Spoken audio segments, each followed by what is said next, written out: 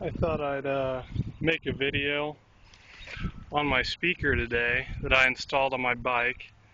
Um, a lot of bicycle speakers I was seeing cost a lot of money, like over a hundred dollars, and I made this one for under five dollars.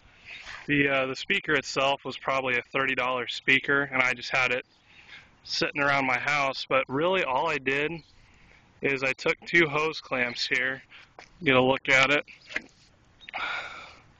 I wrapped this smaller hose clamp on the inside of this bigger hose clamp and um, I put a little rubber in between it, just some old garden hose I cut up and put in between it and honestly it works real well. It's dead right now or I'd turn it on. I just got back from a ride but, and then how you'd mount your iPod is just a simple rubber band, or if you wanted to do something else, you know, that's your discretion, but that's pretty easy to figure out how to mount your iPod. But, you know, I found that to work pretty well. So for under $5, I have a really loud bicycle speaker, and this is a motorized bike actually, and I can hear it over the engine when it's turned up. So there you have it pretty easy way to get some good music out of your bike.